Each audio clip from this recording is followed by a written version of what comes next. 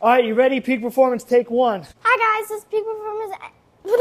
Hi guys, welcome back to Peak Performance Engineer. Today we're going to be working on our ATVs to get them ready for winter.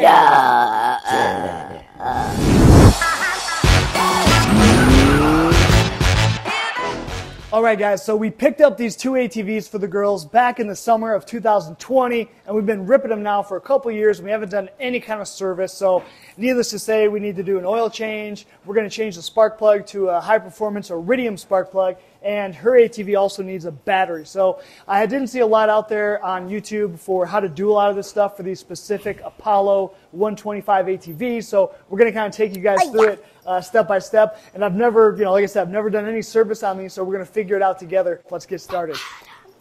All right, guys, so the spark plugs on these things are pretty simple to change. So here is your uh, spark plug wire. You're just going to kind of pull kind of hard, pop this dude off there. And then here's your spark plug. You're going to need a 5 8 socket to go ahead and get that bad boy on out of there. Now on this bike, I've already changed it out to an NGK. Uh, so let me show you Go. what you got with these. So the spark plugs that come in here are a 10 millimeter thread, half inch long reach with a gasket seat. So uh, I pulled out some Autolite 4194s, and the plug on this bike looks pretty good. Um, it really doesn't need to be changed, but I want to go ahead and replace it with a little bit better spark plug. Now this one here is, uh, you know, all the same specs, same 10 millimeter half inch reach, but instead of uh, just a standard uh, nickel electrode, this one's going to have a fine wire iridium tip. Now what this does is it helps to concentrate the spark a little bit better, and these plugs are also a little bit more resistant to fouling. They're going to last, you know, 10 times as long, something crazy like that. So we'll probably, in the time that we own this uh, ATV, we'll probably never have to replace this thing again unless it gets fouled out. But um, this is a really good option from NGK. Um, so we're going to go ahead and get this thing back in there, and then we can move on to the oil change. All right, so keep going until it comes out, buddy. So she's already in there. She's got her 5 8 uh, spark plug socket on that little plug, getting it on out of there. All right, so Camo got the spark plug out. Let's take a look at it. Doesn't look good. Uh, no, actually, this one, we can get it to work. Looks pretty good, actually, yeah. So now this ATV hasn't had much runtime really at all because it's always had some issues to get it to start. And, uh, and then the battery died, and then I replaced the battery, and then that battery died. So, um, and that was my fault just from not, you know, charging the battery, keeping on a battery tender. So we got a brand new battery we'll throw in, and then uh, let's go ahead and get the spark plug changed out. With these NGK spark plugs, they have that silver kind of metallic coating on them. That's actually a trivalent zinc chromate coating. And so with that coating, they don't recommend and you don't need to use any kind of anti-seize when you're putting these things in. So you just put these spark plugs in dry and then you go ahead and read the back of the box and it'll tell you how to uh, tighten it down. So it? you don't really need a torque Here. wrench. Uh, so you can see, for example, for this 10 millimeter plug, it's just going to get hand tight plus a half turn. Um, so just 180 degrees, and then you're going to be good to go. Not want to over tighten these things. Uh, I've seen where the threads have snapped clear off the plug, and then you will be in a whole world of hurt if that baby is stuck in your ATV. I came in like a wrecking. All right, spark plug change, all finished. Now the next thing we want to do, I'm going to go ahead and swap out the battery. It's not too bad on her ATV. Um, so these are both Apollo 125s. She's got this uh, Sniper Sport, and she's got the Sportrax, and they're basically the same exact ATV, but some of the plastics are different.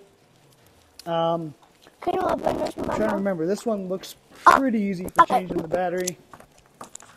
But this is, yeah, so I think this one's even easier. So, yeah, and hers, she's got more room and stuff. So we got to go ahead and uh, pop all this out. Now, I've already got a thing on here for a battery tender, so we're going to, of course, put that onto the new one as well. So it's just going to be a couple bolts, and then we'll have to disconnect our cables, and then we can get it all swapped out for the new one. Look how small and cute this thing is. So I'm going to go ahead and uh, get the old one out. We'll pop this bad boy in real quick and be good to go.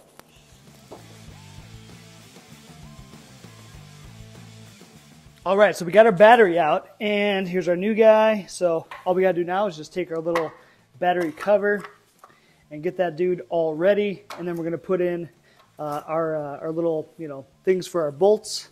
Get those all set in there, and then we'll just pop this guy back in place.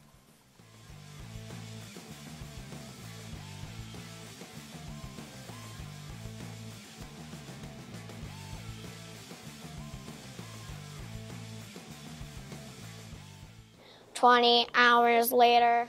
Old battery.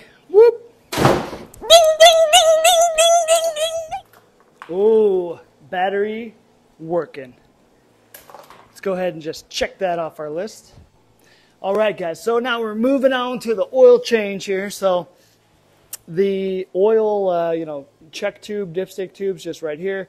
And it looks crazy, but it's actually, you can get your hand back there uh, pretty easily to be able to go ahead and unscrew it. And then it looks like you'll probably have pretty easy access from up top to uh, go ahead and get your, your uh, oil fill tube down in there. So as far as draining this bad boy, when I looked in the manual, it said something about oil and then like oil and some kind of other case. So I basically see two things down here. I'm thinking this one's probably the oil, and then this one's something else. So this is a 17 millimeter, that one's a 14 millimeter. So I'm gonna go ahead and try to crack both of those guys off and then just see if any oil, I mean, obviously I think oil's gonna come out of that one, but uh, I'm gonna try that other one too. And I'm not sure if we just fill it all up from one thing or what, but I'm gonna check out and see if there's anywhere else on the other side where, uh, because that's probably, I think, the transmission. I, I, thought that's what it said. Something in the manual about uh, the transmission needs some fluid, but it takes the same oil as the regular uh, engine does. So there's probably somewhere on the other side to fill it up.